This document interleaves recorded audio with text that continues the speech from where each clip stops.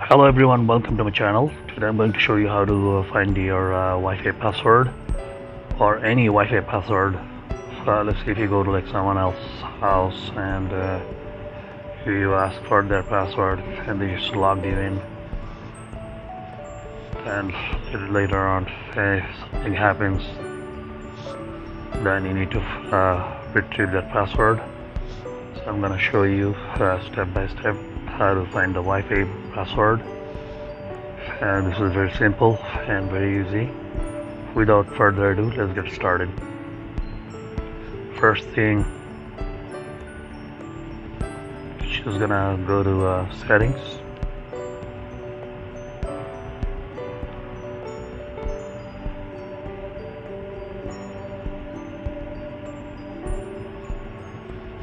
then click on connections.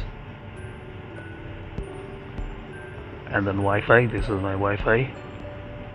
Click on that. And then you're gonna click uh, that settings icon right beside your Wi-Fi network to the right. For example this is my uh, network. I'm just gonna click on settings. Once you click on settings there are like so many options here like you know for example network speed security uh, auto connect like whatever right? So I'm not gonna get into that. And when you come down you see here's the QR code right? So you simply just click on QR code. And then you're just gonna copy that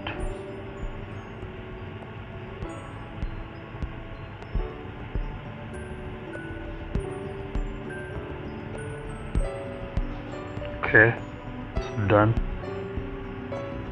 Once you're done and uh, you need a QR code app scanner which uh, you can download from uh, Play Store and I'll uh, leave that in link in the description box as well as the name. So for example I use this one right here uh, QR code QR reader actually. Okay. Uh, I don't have my glasses on. I'm sorry. So just gonna click on that. Once you click on that then you scan using camera or scan image. Since I saved that image so I'm just gonna